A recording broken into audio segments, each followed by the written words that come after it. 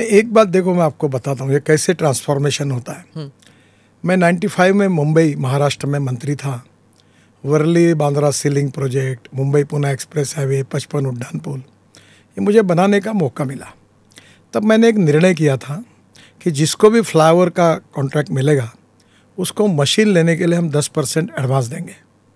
और वो मशीन अगर इम्पोर्ट करता है तो हम ड्यूटी जो होती है कस्टम ड्यूटी हम भरेंगे।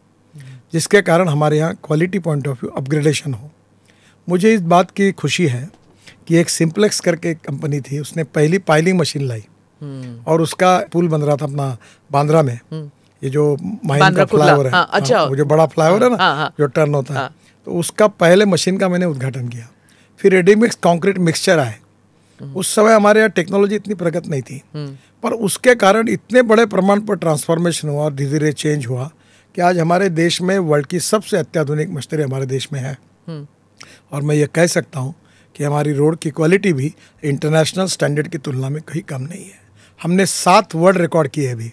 अब वर्ल्ड रिकॉर्ड डेटा तो सब आपके पास है तो आप सवाल पूछने की ज़रूरत ही नहीं है आप ही बता दीजिए कौन कौन से रिकॉर्ड कैसे तोड़े आपने? जितने लेन हमने बनाई जी। वो सौ किलोमीटर की हुई वो चौबीस घंटे में बनाई जी। जो अभी अलीगढ़ से लेकर जो रोड बना हाँ। सौ किलोमीटर की टोटल लेन पकड़ के वो सौ किलोमीटर होता है। मतलब थोड़ा सा नंबर्स में गलती होगी क्योंकि हमको सर मैं सरकास्टिकली कह रही हूँ पच्चीस पच्चीस साल वेट करना पड़ता है सौ किलोमीटर के लिए।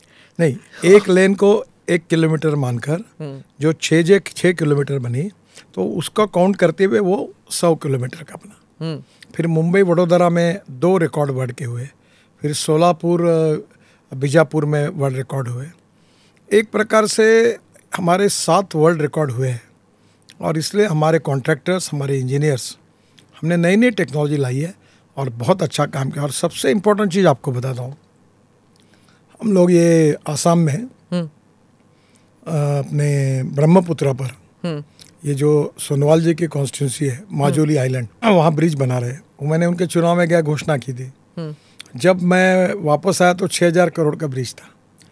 हमने टेक्नोलॉजी बदली, नहीं, हमने मलेशिया से टेक्नोलॉजी वो स्वीकार की। अब हमारा ब्रिज 680 करोड़ में बन रहा है। जोजिला टनल, चार बार टेंडर हुई, बारह हज़ार रुपये उसके एस्टिमेटेड कॉस्ट थी। हमने मेहनत की, नई टेक्नोलॉजी आई, काफ़ी लोगों को प्रोत्साहित किया टेक्निकल फाइनेंशियल नॉर्म बदले। अब करीब साठ सत्तर परसेंट टनल पूरी हुई है और आपको आश्चर्य होगा, हमने पाँच हज़ार करोड़ रुपए एक प्रोजेक्ट पर बचाए तो टेक्नोलॉजी भी लाई क्वालिटी के साथ कॉम्प्रोमाइज़ भी नहीं किया कॉस्ट ऑफ़ कंस्ट्रक्शन को कम करने की कोशिश की और क्वालिटी ऑफ़ कंस्ट्रक्शन हर समय इंप्रूव करने की कोशिश की if you like the video do like comment share and subscribe.